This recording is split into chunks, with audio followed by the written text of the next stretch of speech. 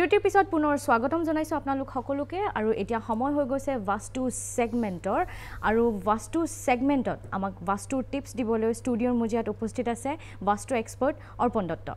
অৰ্পণ দা আপোনাক স্বাগতম জনাইছোঁ মৰ্ণিং লাইভ অনুষ্ঠানত। আৰু অৰ্পণ দা আজি আপোনাৰ সৈতে আমি কথা পাতিব বিচাৰিম। এডুকেশ্যনেল কোৱালিফিকেশ্যন বা বাস্তুৰ সৈতে শিক্ষাৰ কি সম্পৰ্ক আছে?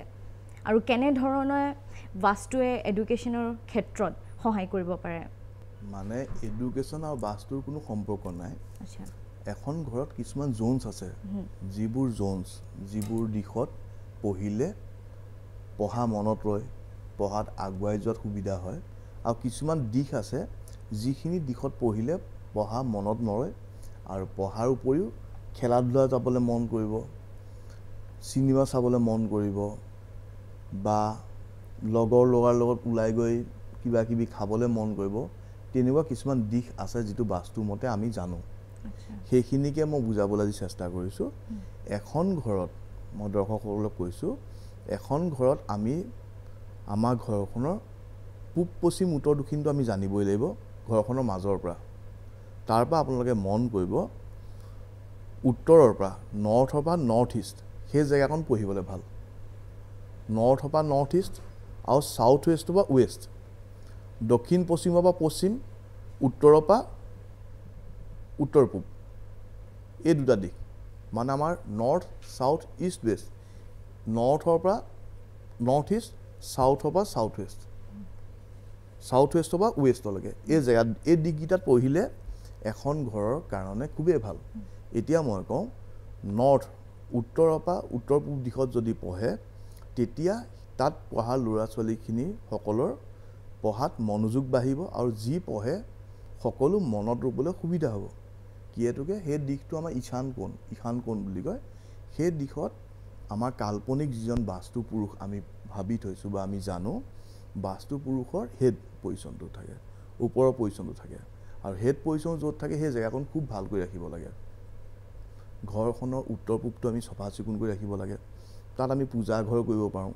বা আমি বেডৰুম কৰিব পাৰোঁ ষ্টাডি ৰুম কৰিব পাৰোঁ মেডিটেশ্যন ৰুম কৰিব পাৰোঁ আৰু উত্তৰৰ পৰা উত্তৰ পূবৰ সেই জেগাকণত জ'নটোত আমি তিনিটা জ'ন আছে তাত নৰ্থ নৰ্থ ইষ্ট আৰু নৰ্থ ইষ্ট আৰু নৰ্থৰ মাজৰ জেগাখন হ'ল নৰ্থ অফ নৰ্থ ইষ্ট সেই জেগাকণত যদি আমি পঢ়োঁ আমাৰ ঘৰৰ সকলোৰে ল'ৰা ছোৱালীৰ পঢ়াত মনোযোগ বাঢ়িব আৰু যি পঢ়ে তাকে মনত ৰ'বলৈ সুবিধা হ'ব। আৰু কৈছোঁ সেই জেগাকণত আমাৰ ক্লাছ এইট নাইনলৈকেহে পঢ়িব দিব লাগে।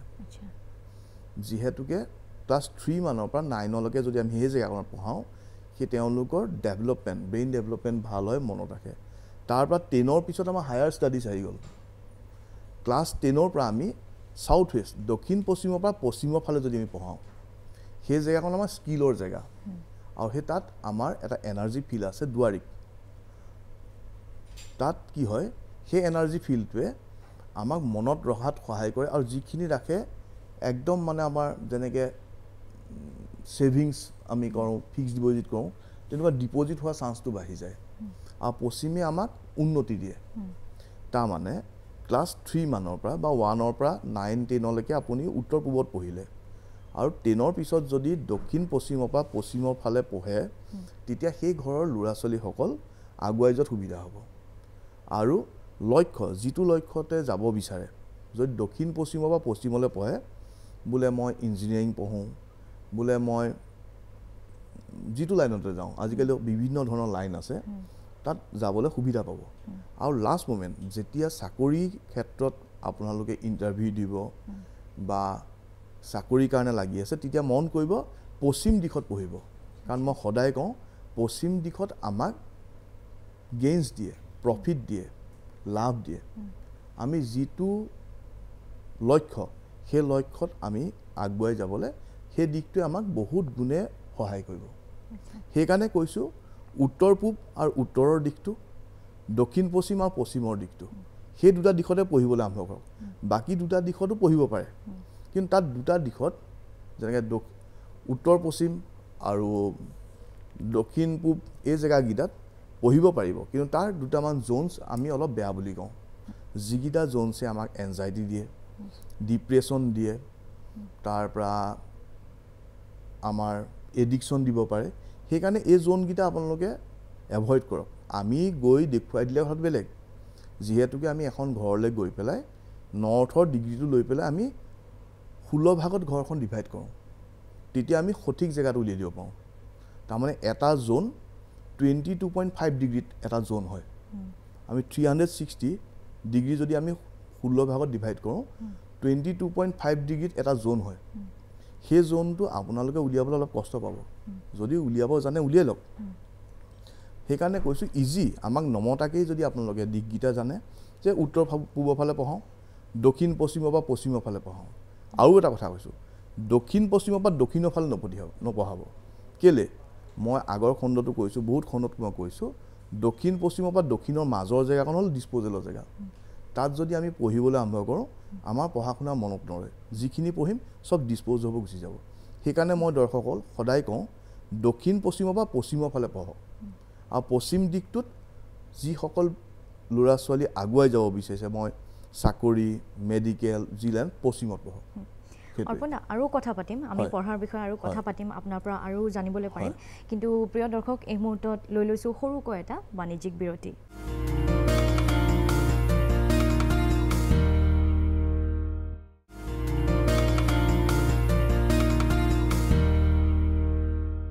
বিৰতিৰ পিছত আপোনালোক সকলোকে পুনৰ স্বাগতম জনাইছোঁ মৰ্ণিং লাইভ অনুষ্ঠানত আৰু বৰ্তমান আমি বাস্তু ছেগমেণ্টত বাস্তু টিপছৰ কথা পাতি আছোঁ অৰ্পণদাৰ সৈতে।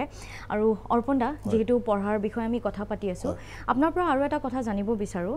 পঢ়াৰ ক্ষেত্ৰত ধৰক কনচেনট্ৰেশ্যন পাৱাৰটো বঢ়াবলৈ মাইণ্ডটো যাতে শিক্ষাৰ্থী এজনৰ যাতে ছাত্ৰ ছাত্ৰীসকলৰ যাতে মাইণ্ডটো ডাইভাৰ্ট নহওক তেনেকৈ বাস্তুৱে কিবা ৰেমিডি ছাজেষ্ট। কৰে মই নেকি? সেইটোৱে কওঁ আজি খণ্ডত মই কৈছোঁ যে উত্তৰ পূব আৰু উত্তৰৰ দিশটোত আমি পঢ়িব লাগে। তাত কনচেনট্ৰেশ্যনটো বঢ়াবৰ কাৰণে সেই ৰুমটোৰ কালাৰটো কালাৰটো ডিপেণ্ড কৰিব। আজি কৈছোঁ উত্তৰ পূবৰ পৰা উত্তৰলৈকে আমি যদি পঢ়োঁ সেই দিশটোত blue sky blue colour white colour off white colour cream colour দিব। তেতিয়া সেই কালাৰে আমাৰ ঘৰৰ কনচেনট্ৰেশ্যন বঢ়াত সহায় কৰে। আৰু দক্ষিণ পশ্চিমৰ পৰা যদি পশ্চিমৰ ফালে পঢ়োঁ আমি হোৱাইট দিব পাৰিব অফ হোৱাইট দিব পাৰিব ক্ৰীম দিব পাৰিব আৰু য়েল্ল' দিব পাৰিব। এতিয়া ডিফাৰেঞ্চটো এইটোৱেই white off white cream common colour সেইটো উত্তৰ পূবতো দিব পাৰিব দক্ষিণ পশ্চিমতো দিব পাৰিব। কিন্তু উত্তৰ ফালৰ ৰুমখিনিত স্কাই ব্লু কালাৰ আৰু দক্ষিণ ফালৰ ৰুমখিনিত য়েল্ল' কালাৰ এই দুটা ডিফাৰেঞ্চ কৈছোঁ ভুলতো উত্তৰ পূবৰ ফালে য়েল্ল' কালাৰ নিদিব আৰু ভুলতো দক্ষিণ পশ্চিমৰ ফালে ব্লু কালাৰ নিদিব। এই কালাৰকেইটা কৰিলে কনচেনট্ৰেশ্যন বাঢ়িব। আৰু মই কওঁ কনচেনট্ৰেশ্যন বঢ়াৰ আৰু এটা সুবিধা সৰু।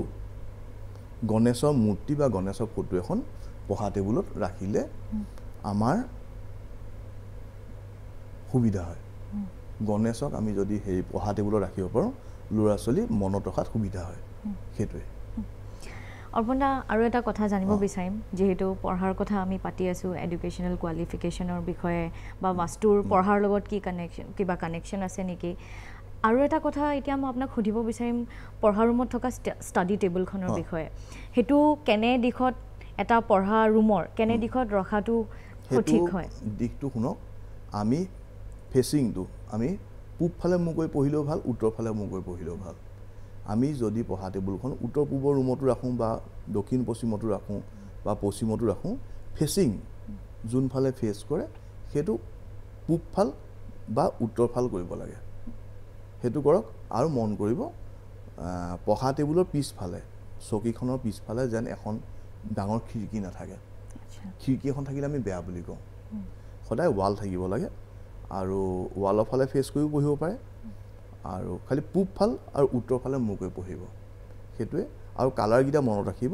উত্তৰ পূবত ব্লু কালাৰ দক্ষিণ পশ্চিমৰ পশ্চিমৰ ফালে য়েল্ল' কালাৰ আৰু off white cream white colour এইকেইটা কমন কালাৰ দিব পাৰে।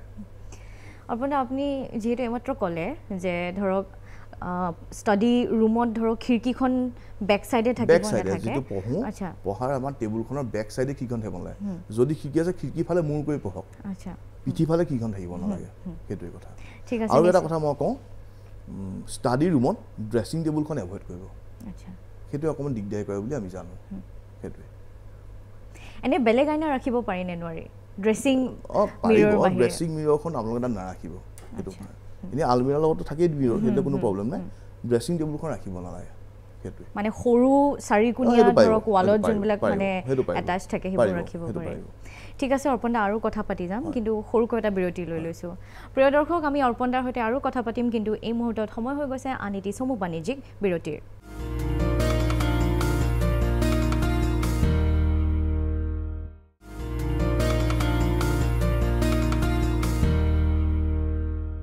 বিৰতিৰ পিছত আপোনালোক সকলোকে পুনৰ স্বাগতম জনাইছোঁ মৰ্ণিং লাইভ অনুষ্ঠানলৈ আৰু যিহেতু বাস্তু ছেগমেণ্টত আমাৰ বাস্তু এক্সপাৰ্ট অৰ্পণ দত্তা ষ্টুডিঅ' মজিয়াত উপস্থিত আছে অৰ্পণ দা। সময়ো কমি আহিছে। আৰু যিহেতু পঢ়াৰে কথা পাতিলোঁ আজি আমি। বাস্তু ছেগমেণ্টত সৰুকৈ এটা ষ্টাডি ৰিলেটেড যদি বাস্তু টিপ আমাৰ দৰ্শকসকলক দিলে হয় এইটো ষ্টাডি ৰিলেটেড নহয় মই কৈছোঁ যে আমাৰ লকডাউন হোৱাৰ পৰা আমাৰ এডুকেশ্যন ছিষ্টেমটো ছ'চিয়েল মানে মিডিয়া ধৰা কম্পিউটাৰ মোবাইলত সকলো অনলাইন ক্লাছ আৰম্ভ হ'ল। সেইটো হোৱাৰ পিছত এতিয়া মই দেখিছোঁ আমাৰ ঘৰতে দেখিছোঁ ল'ৰা ছোৱালীসকলৰ মোবাইল আৰু লেপটপ এইকেইটাৰ ভিতৰত আপোনাৰ এট্ৰেকশ্যনটো বাঢ়ি গৈছে। যদি কোনোবাই ফিল কৰিছে যে আমি মোবাইলত পঢ়িছে খুব ভাল অনলাইন কাৰণ গুগলত চাৰ্চ কৰি পঢ়িব লাগিব আৰু বোলে মোবাইলৰ এডিকশ্যনটো বাঢ়ি গৈছে বোলে গেম খেলিবলৈ আৰম্ভ কৰিছে সকলোৱে মোবাইলত মোবাইল আৰু বেক কভাৰ এটা থাকে মোবাইলত বেক কভাৰ থাকে। আপোনালোকে এটা চিম্পলি চাৰিচুকীয়া হ'ব লাগিব। চাৰিচুকীয়া সোণাৰী দোকান কিনিব পাৰে। দুটা ৰূপৰ কইন কইনকেইটা খালি মন কৰিব গোল নহয়। চাৰিচুকীয়া নহ'লে বনাই ল'ব। দুটা চাৰিচুকীয়া সৰু সৰু ৰূপৰ কইন বনাই আনি মোবাইলটো আৰু বেক কভাৰৰ মাজত ভৰাই থৈ দিব। থৈ দিলে সেই মোবাইলটো যোনে ইউজ কৰে আমাক পঢ়োঁতে চন্দ্ৰ বহুত কৰে মানে মুন। আমাৰ চন্দ্ৰটো এক্টিভেট হৈ যাব। তেতিয়া মোবাইলৰ এডিকশ্যনটো কমাৰ চান্সটো বাঢ়ি আহে। চাব এইটো কৰক আপোনাৰ ল'ৰা ছোৱালীয়ে মোবাইলৰ এডিকশ্যনটো কমিবলৈ আৰম্ভ কৰিব। সেইটোৱে। খুব ইণ্টাৰেষ্টিং আছিলে আজিৰ দিনটোৰ বাস্তু টিপছটো আৰু আমাৰ দৰ্শকসকলেও নিশ্চয় ভাল পাইছে। আৰু প্ৰিয় দৰ্শক আজিৰ দিনটোৰ বাবে ইমানতে সামৰিছোঁ। কাইলৈ পুনৰ লগ পাম। ধন্যবাদ।